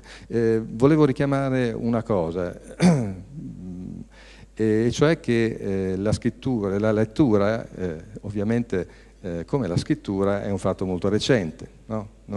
l'uomo avrebbe imparato a, a, parlare, avrebbe cominciato a parlare tra i 50.000 e i 100.000 anni fa, la scrittura ha eh, 5.000 anni, hm? 6.000, 5-6.000 anni. E, e quindi la, eh, la lettura, in questo senso qui, anche lei ha 5-6.000 anni, non di più però sicuramente c'era la lettura in questo senso, eh, lettura di eventi, era già presente, no? era già presente, per cui paradossalmente il senso originario di leggere è probabilmente quello legato all'interpretazione eh, del libro della natura, mi, non c'era ovviamente questa, questa, metafora, è stata già esplorata per cui non ci torno, neanche su Ugo di San Vittore, non lo, non lo citerò benché l'abbia nel, nel, mio repertorio. Ehm, per cui la, eh, la, lettura effettivamente è stata sempre, prima eh, innanzitutto, interpretazione di segni esterni, hm, di segni eh, naturali fondamentalmente. E poi è diventata, si è specializzata nella lettura di segni scritti e ehm, non è stato citato qui ma tutti lo conosceranno, il, il, le riflessioni, la prima reazione, la reazione forte diciamo così, contro la scrittura viene da Platone. Platone eh, nel Fedro sì, eh, si scaglia un po' contro questa novità, hm? nel momento in cui nel dialogo tra il dio Teut e il faraone, il faraone decanta, no, non mi ricordo chi è dei due, che decanta il, il, la grande novità, sì, Teut decanta la novità della scrittura perché finalmente possiamo eh, aiutare la memoria eh, e quindi ricordare meglio. In realtà, dice il faraone, eh, questo distrugge la memoria perché uno si affida, si affida, a un supporto esterno, diciamo così, diremmo oggi, e, eh, e quindi perde la memoria, si sforza di meno fondamentalmente e che in una cultura orale in cui eh, era importantissimo eh, ricordare eh, tutta la questione eh, omerica ce l'ha insegnato, insomma, eh, eh, si lavorava con formule fondamentalmente per aiutare la memoria, non con lo scritto. Sullo scritto è arrivato solo dopo a depositare su papiro, su altri strumenti scrittori, un qualcosa che circolava oralmente. In Platone, nel, nella reazione del faraone, c'è proprio eh, questa reazione contro questa novità tecnologica, perché poi è una novità tecnologica, e eh, che ricorda un po' quello che succede anche con i computer, quando sono stati introdotti i computer, è esattamente la stessa reazione. eh, non ci si ricorderà più niente perché uno eh, immagazzina tutto nella memoria del, del proprio PC e eh, si eh, potrà tranquillamente eh, risparmiare di eh, mandare a mente tante cose. Eh, perché quello che abbiamo visto per ora dai, dai dizionari è che c'è una sorta di rapporto di presupposizione a tre, a tre eh, momenti, a tre elementi. Eh, studiare presuppone sua, eh, nel suo caso esemplare il leggere e il leggere presuppone la scrittura. Ci sono questi tre elementi che eh, hanno una storia e, e, dei rapporti molto particolari, ehm, perché appunto a un certo punto nella, nella storia della, della, lettura succede questo fatto che sconvolgeva appunto Agostino, che c'è qualcuno che comincia a leggere solo con gli occhi e quindi non ha eh, risparmia la voce, eh, legge più velocemente, un'altra cosa che dice, che dice, Agostino è proprio che legge più velocemente e, eh, perché ci, ci, si mette meno, cioè l'articolazione della voce prende tempo, non c'è niente da fare. e, quindi, eh, e quindi, è sicuramente un fatto, eh, un'assoluta novità.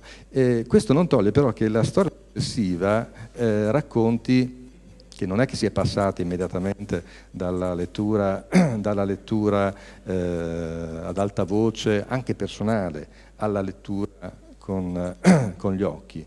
Eh, ci si è messo, abbiamo messo diversi secoli, diciamo così. Tant'è che nel IX secolo, volevo citarvi questo, questo esempio, eh, il legame ancora tra la scrittura e il suono, perché eh, nel IX secolo è ancora talmente forte, talmente forte e rispecchia poi l'idea che da Aristotele in avanti e anche i grammatici latini avevano, e cioè che la scrittura sia una sorta di trascrizione del, eh, del parlato, proprio perché eh, ragionavano su un alfabeto, un alfabeto che nasce come tentativo di eh, trascrivere suono per suono elementare in una sorta di corrispondenza biunivoca tra lettere e suoni.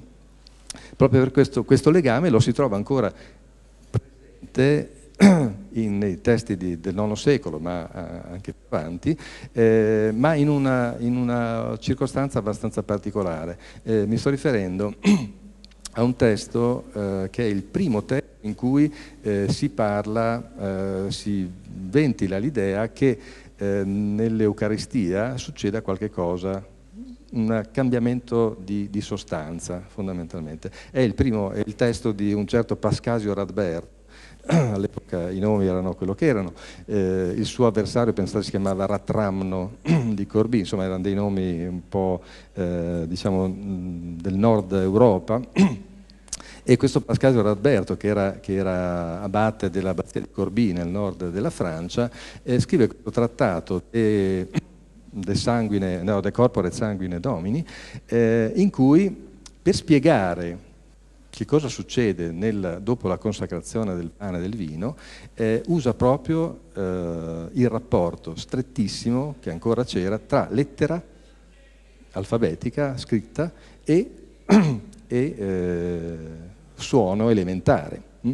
Il rapporto considerato così immediato da prenderlo a modello non solo del, del rapporto tra eh, ciò che appare, eh, quelle che saranno poi chiamate le specie del pane e del vino, e il corpo, il sangue di Cristo, eh, che sono identici, hm? sono identici. Dice Pascasio che eh, eh, noi vediamo il pane e il vino solo perché Dio ci protegge, cioè non ci vuole, eh, non ci vuole eh, diciamo così, scioccare, ma quello è un pezzo di carne e quello è sangue.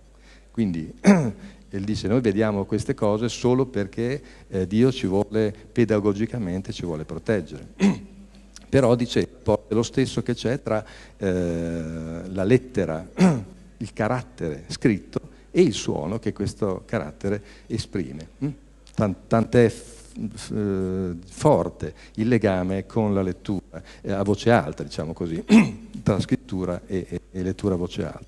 E, ehm, poi eh, stesso rapporto che c'è anche, gli serve anche come modello per spiegare l'identità delle persone della Trinità, addirittura, cioè tra il padre, tra il figlio e il padre, c'è lo stesso rapporto che c'è tra una lettera, che lo chiama carattere, e eh, il suono che questo, questo carattere comporta. E lui dice, questo tipo di segno particolare, fa proprio una riflessione semiotica a tutti gli effetti, dice è un segno particolare perché lì c'è l'identità, quasi l'identità tra eh, espressione e contenuto, lo traduco in, eh, tra significante, tra segno e significato, sono la stessa cosa, identica, così come eh, il, il, figlio è identico al padre. Mm? Questa è la, ci sono vari, e usa il termine figura.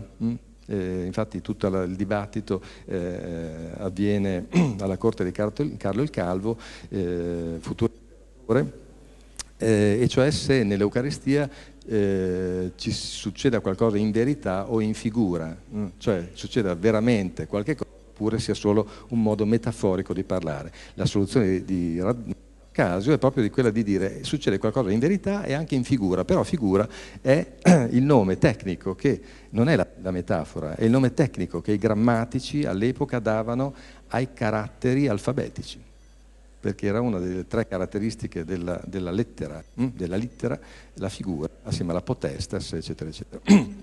Quindi eh, il, il legame tra scritto e eh, orale, diciamo così, è strettissimo ancora nel IX secolo. Non solo, ma e qui arrivo anche alla questione dello studio, dello studio da dove venga fuori anche la parola studiare, studio, ehm, fondamentalmente eh, anni dopo insomma, eh, si riprendono modalità di insegnamento eh, che sono tipiche della, del, delle scuole neoplatoniche fondamentalmente eh, da Plotino in avanti le scuole neoplatoniche hanno cercato di mettere insieme eh, Platone e Aristotele eh, costruendo proprio un curriculum, una serie di, eh, di studi, di letture, hm, di letture obbligatorie di, che, che, erano fatte per eh, graduali, insomma, per gradi. E si partiva da Aristotele, dalla logica di Aristotele per arrivare al Parmenide, al Parmenide uno dei dialoghi più difficili di Platone e che costituiva assieme alla, al Timeo eh, il culmine della formazione del filosofo eh, platonico, perché non si chiamavano neoplatonici, naturalmente siamo noi che li abbiamo chiamati così, ma, e quindi hanno costruito per primi l'idea di un curriculum proprio. Questa idea, hm, e, e in cosa consisteva l'insegnamento? Consisteva nella lettura e nel commento. Questo, questa modalità è quella che attraverso Boezio, eh, Severino Boezio è passata all'Occidente. Boezio ha tradotto Aristotele, soprattutto la logica, ma non solo, e eh, l'ha commentata. Mm? Eh, sono due opere abbastanza distinte, no? eh, e questa modalità di, eh, di, presentazione dei testi è rimasta, è diventata il modello su cui si è costruita l'università, fondamentalmente.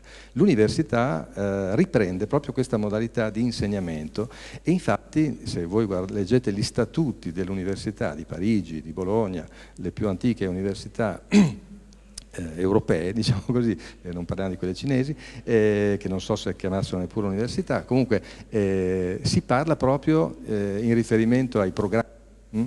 si dice eh, leggere, il fare lezione Aristotele voleva dire leggere eh, il, le categorie, l'isagogia di Porfirio, le categorie, l'interpretazione, eccetera, eccetera, e eh, la, eh, la, lezione infatti è una lezione.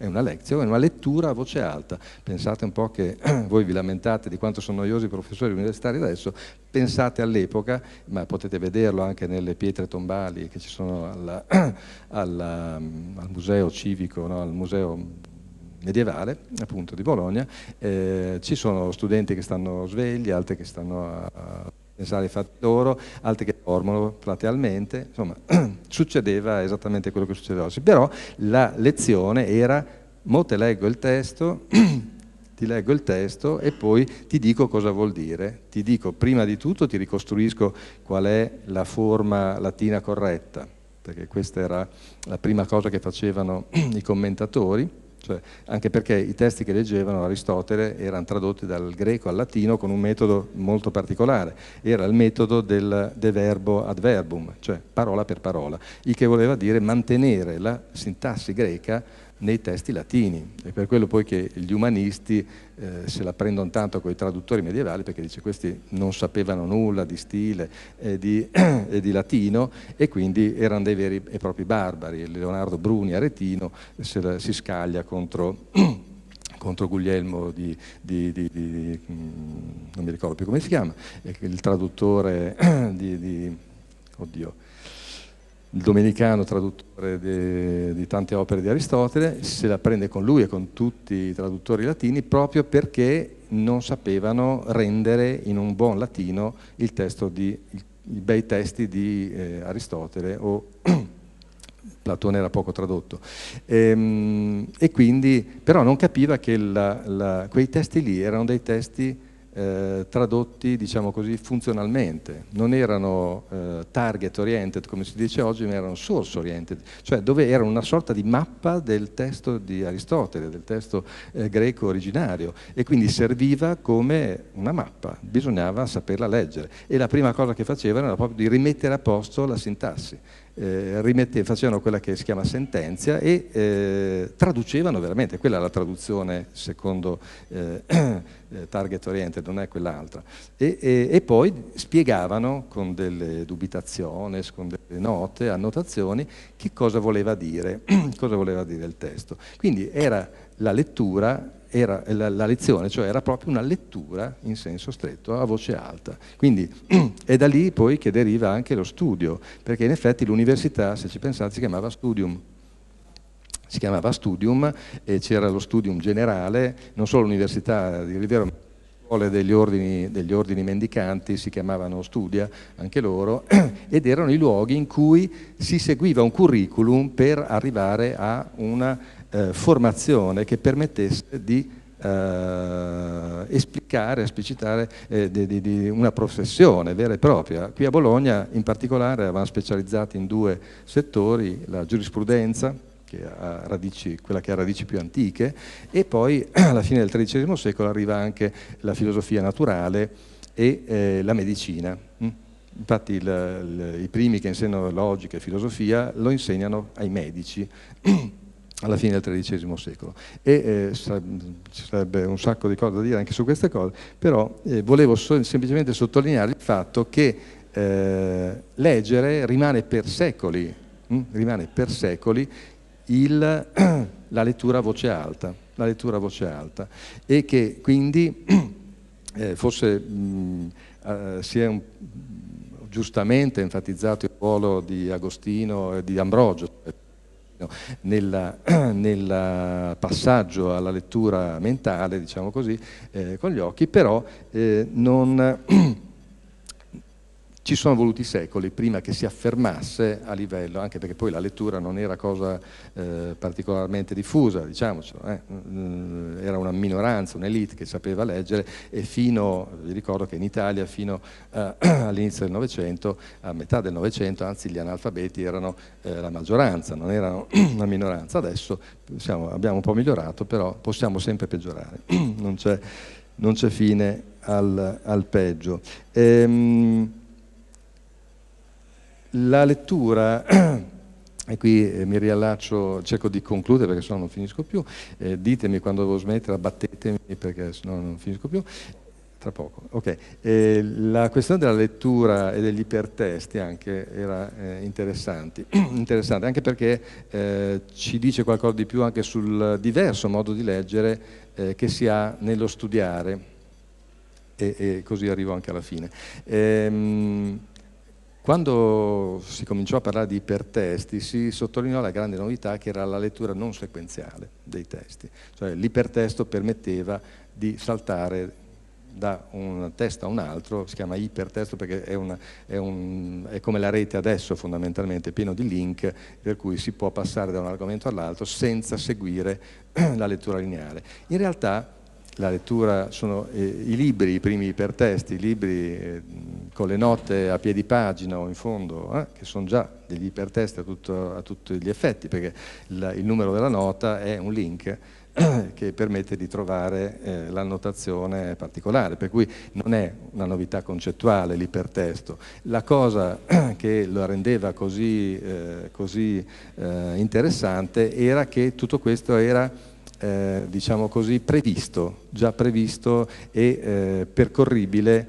eh, tecnologicamente, con una tecnologia più avanzata fondamentalmente, invece di dover sfogliare dei libri o di eh, interrompere la lettura per andare a pescare la nota, a vedere che cosa di interessante dice l'autore eh, a questo proposito, eh, lo si faceva con un clic fondamentalmente. La differenza è tutta lì. Per cui eh, l'idea che la lettura non facit saltus, eh, come potrebbe dire parafrasando vecchio detto medievale, eh, non era vero neanche per i testi, per i testi stampati, mm, quindi eh, non c'è tutta questa, questa novità. Infatti poi eh, questa, la storia di questa enciclomedia, eh, Encyclomedia, eh, è abbastanza triste perché si è passati dal testo tecnologicamente avanzato alla carta, si è ritornati indietro, tant'è che eh, io non ho più collaborato, a un certo punto avanti mi sono rifiutato. Invece abbia collaborato a un volume sul Novecento molto faticoso, diciamo così, ma era proprio un volume di carta, ecco, si è fatto un passo indietro. negli stessi anni Eco scriveva eh, A passo di gambero, che era un bellissimo eh, testo che illustrava esattamente questo tipo di dinamiche, di dinamiche più generali. E, mh, lo studio, lo studio eh, lo studio giustamente è una lettura, però ehm, la cosa che i, i, nostri, questi dizionari che vi ho fatto vedere non dicono, scusate se torno indietro, non dicono, parlando di studiare, ehm, e che era completamente assente dall'etimologia, no? È la fatica, fondamentalmente. Lo, è, lo, leggete un po' tra le righe, che c'è, eh, forse c'è applicarsi, nello, questa cosa, lo sforzarsi di fare qualcosa. Ecco, nello sforzo c'è una allusione alla fatica. Eh, vi dico questo perché avendo una figlia, dei figli anzi adolescenti, sto constatando che studiare alle, nelle scuole dell'obbligo, anche alle scuole superiori, è una cosa molto diversa dallo studiare che poi eh, si affronta all'università. Eh, lo studiare delle scuole dell'obbligo e superiori è uno studiare in cui si eh, inserisce un dovere che eh, non, non, va sempre d'accordo col piacere. Mm. Come, e, e, quindi il il, uh, sento le lamentele di mia figlia, secondo anno di liceo classico, eh, che eh, dice ma perché devo studiare sta roba che non mi interessa per niente, il greco, in particolare il greco e la matematica che sono sue, le, i suoi pezzi forti e eh, effettivamente lì c'è una, una, qualcosa che è completamente assente e cioè la, il gusto, hm? il gusto, l'amore, eh, la, la, passione, la voglia. Eh?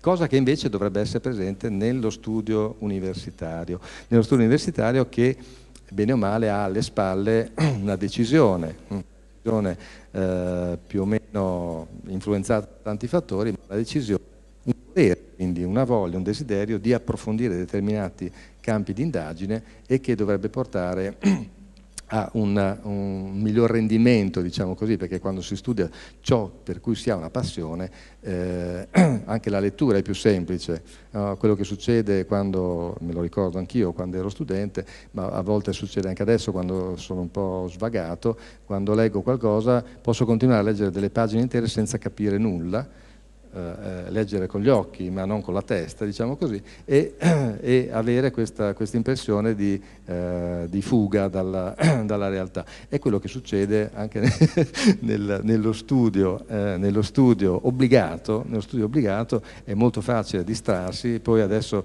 leggo appunto e vedo anche che eh, gli studenti attuali sono multitasking, per cui eh, studiano con la televisione accesa, il computer in chat eh, continuamente acceso e quindi non so veramente come facciano a concentrarsi, però evidentemente ci sono modalità e stili cognitivi completamente diversi che a volte sfuggono, però non per questo possono essere peggiori o migliori dei nostri. Eh, in tutto questo, questo mi serve per arrivare a dire, e concludo, e concludo che eh, mh, non solo c'è una differenza tra lo studio obbligato e lo studio scelto eh, in prima persona, ma c'è ancora una differenza ulteriore tra lo studio scelto, che bene o male però deve seguire delle tappe, deve seguire, eh, i corsi universitari sono costruiti, dovrebbero essere costruiti in maniera da da favorire una gradualità no? e arrivare negli ultimi anni ad affrontare testi più difficili, più, eh, più impegnativi, eccetera, eccetera. Dovre dico dovrebbero sempre, uso sempre il condizionale perché è tutto quello che ci piacerebbe che fosse, ma non è così.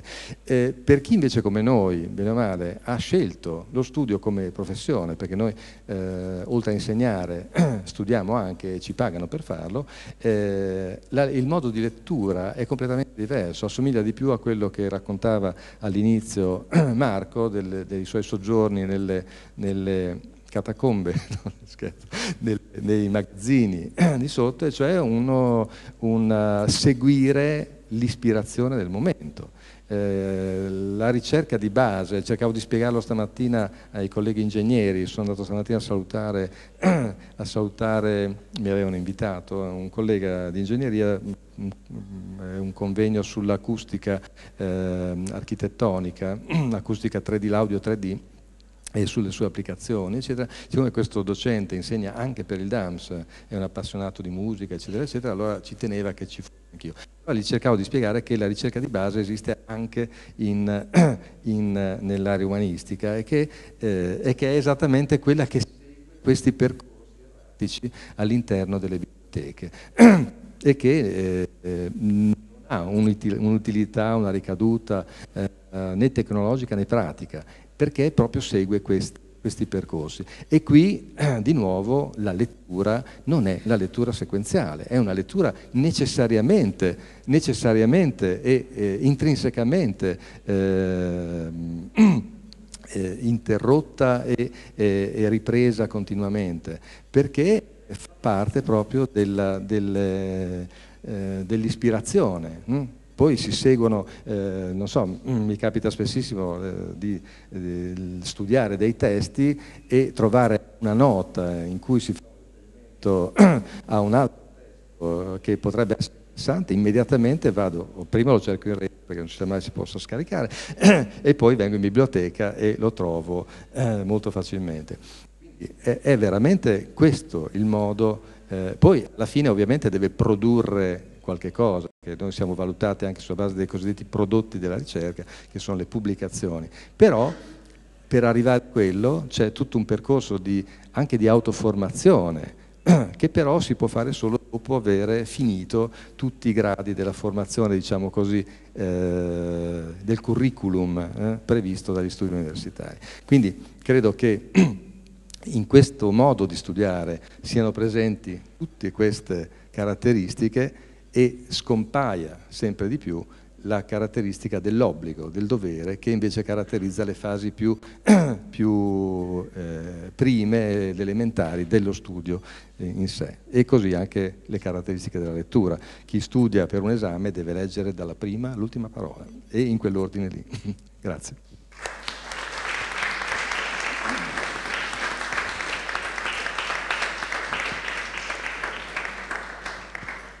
Grazie. Eh, mi permetto di leggere due citazioni che avevo messo in questa leggenda insomma, del programma. Studiai da giovane per ostentazione, poi un po' per istruirmi, ora per divertirmi. E chi non apprezza il divertimento non sa che cosa perde. Montaigne. Eh, leggere e studiare senza riflettere è fatica vana. Riflettere senza studiare e leggere è pericoloso. Confucio.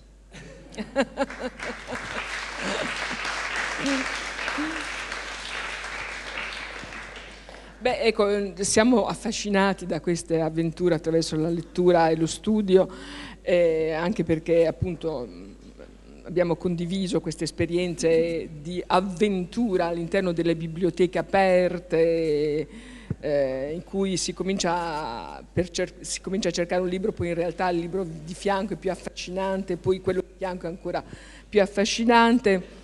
E, e questo è veramente un'esperienza, siamo stati fortunati a, a, poterla aver vissuta e a poterla vivere.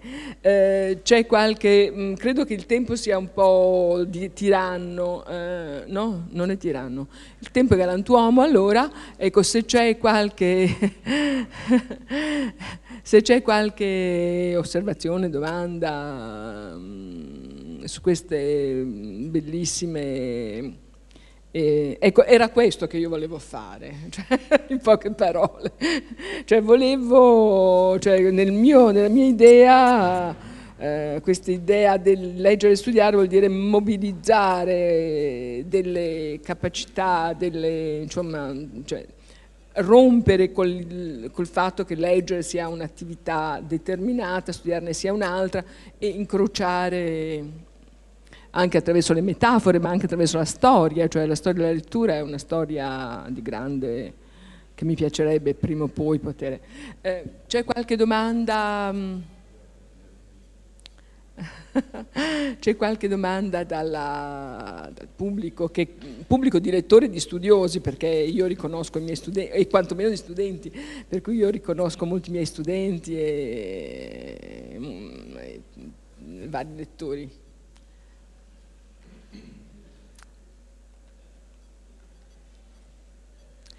Eh, ecco, allora ti lascio.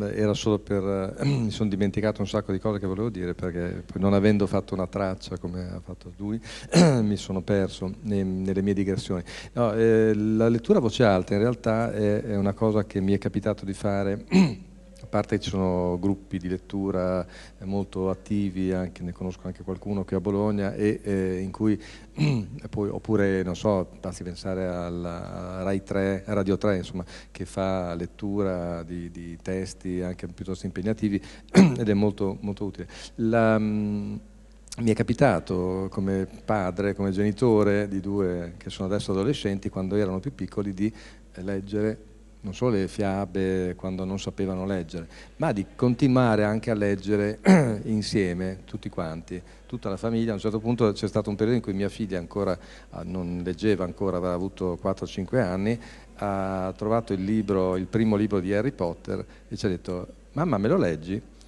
E abbiamo cominciato e abbiamo finito e letto tutta la saga di Harry Potter a voce alta.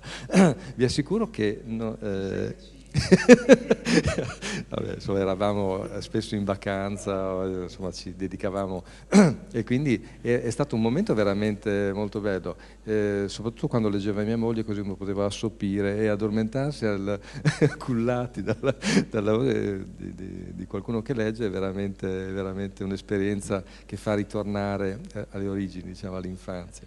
Era solo per aggiungere il fatto che la, insomma, la lettura a voce alta è un qualcosa che che non si dovrebbe abbandonare mai, non solo, ma sono molto contento di averlo fatto perché poi i miei figli sono diventati dei lettori forti già adesso, nel senso che leggono più di un libro all'anno sicuramente, e, che è il minimo, però leggono anche mia figlia quest'estate si è detta Ivanhoe, che non so, nella versione, versione integrale, non quella ridotta per bambini che usava ai miei tempi, e eh, quindi sono molto contento che questo passione per la lettura sia poi passata attraverso questo, eh, questo, queste forme, quindi consiglio a tutti quelli che non hanno ancora figli ma che li avranno di eh, praticare queste, queste, cose che non sono, non sono, vizi solitari come dice lui ma sono vizi collettivi in qualche maniera e, e fanno, non fanno male alla vista soprattutto.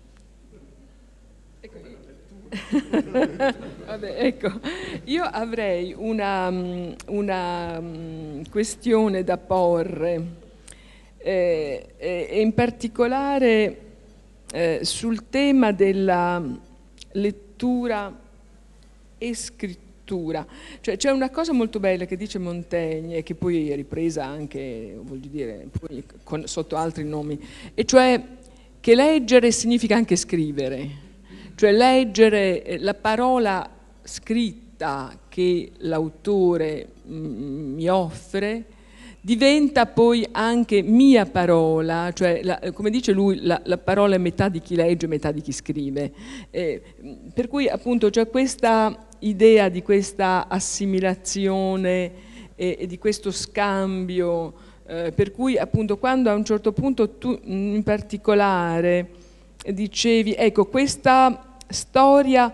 Eh, eh, di, di quello che dice Proust a proposito del libro interiore di segni sconosciuti che mi vengono scritti, non è anche, eh, come dire, un libro che io ricevo dall'esterno ma che nel contempo, nel momento in cui lo leggo, lo sto riscrivendo. Cioè questo tema della cioè ciascuno poi ha il suo libro, voglio dire, eh, eh leggendo eh, Montaigne, io leggo il, il, mio Montaigne, in qualche modo è diventato il mio Montaigne, come dice lui, io faccio dei, un, bouquet di fiori di altri, ma poi il bouquet è mio, insomma.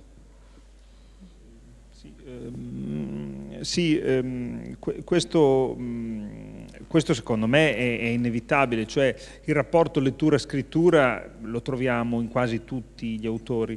Eh, poi mh, arrivo a questo, voglio solo dire due cose, perché ho, ho capito l'obiezione l'obiezione di fondo di Costantino, cioè io e Costantino ci siamo mossi su due piani che secondo me erano eh, paralleli, non, non, coincidenti, cioè tu dici alla fine le, lettura e studio eh, anche etimologicamente si intrecciano molto, no? si intrecciano molto. È chiaro che nell'ottica di una cultura come quella medievale, eh, appunto, la lezio è la base dello studium, cioè l'università si basa, che poi ancora oggi in realtà, io lo dico sempre che ancora oggi poi è così, perché non leggiamo integralmente dei testi, però senza testi da leggere non, la lezione non avrebbe senso di, di essere. No?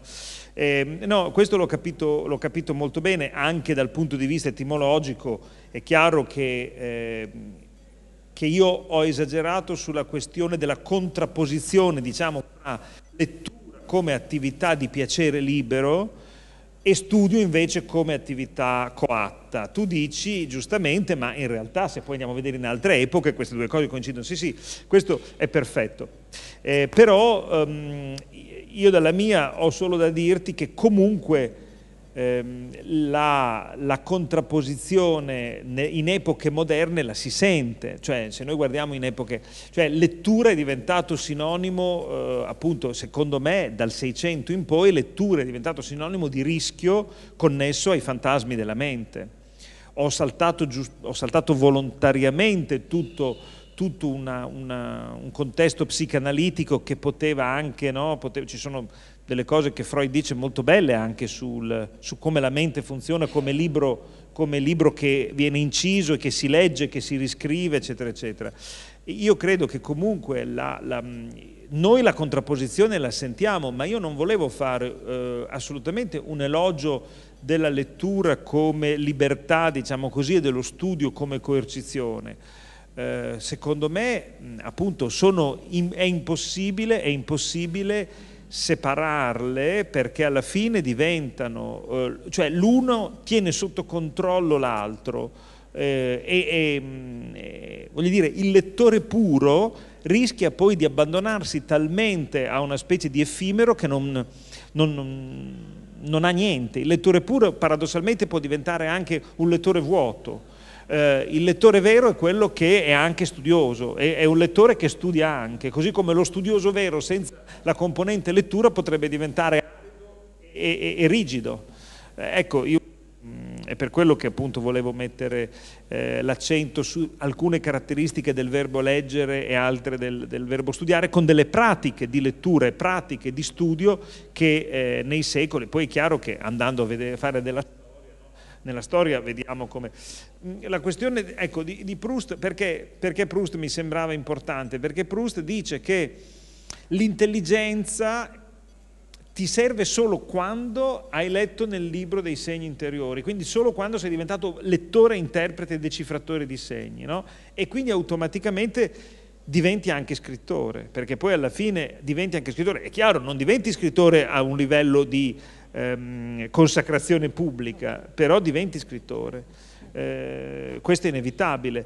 Così come credo che sia inevitabile che ognuno di noi ha il suo modo di leggere, però tu hai il tuo Montaigne, per esempio, no? che è un Montaigne comunque tuo ma anche professionale, quindi in un certo senso lo devi poi mettere in comune con un gruppo, con un gruppo, lo devi mettere in comune che siano i tuoi studenti o che siano i, gli esperti di Montaigne, diventa poi impossibile no? dire il mio Montaigne contro il vostro Montaigne, cioè il tuo Montaigne è anche il frutto di, questa circolazione continua di confronti. No? E poi è chiaro che magari il tuo Montaigne... Nel... Ecco, esatto, è sempre una cosa che si riscrive e che a un certo punto se diventa, se diventa uh, una cosa pubblica, no? se diventa una cosa pubblica, diventa un Montaigne da, da, da condividere e quindi div- e diventa... Eh, esatto. Qualche, altra, qualche altro intervento per concludere questa bellissima apertura di questo ciclo. Allora io ringrazio ovviamente i relatori, ringrazio il direttore della biblioteca, il personale della biblioteca che ci, ci, ci aiuta sempre a, a preparare questi nostri incontri. Ringrazio il pubblico presente che eh, credo appunto sia molto sollecitato da questi nostri incontri, molto trasversali, ecco, per cui mi piace pensare che siamo, è vero, in una mm, biblioteca di discipline umanistiche, ma che eh, leggere e, e, studiare sia una modalità talmente eh, polisemica, va bene? Ecco, che, e, e, che sia poi anche questo che ci aiuta a leggere, a studiare. Eh, cioè, mm, eh, per, non, per, parlare sempre di Descartes, Descartes dice di leggere i suoi libri prima come un romanzo, secondo mm, stando come, mm, di smontarlo come una macchina e poi terzo e quarta volta di cominciare a pensarci sopra. Ecco. Grazie a tutti. Arrivederci.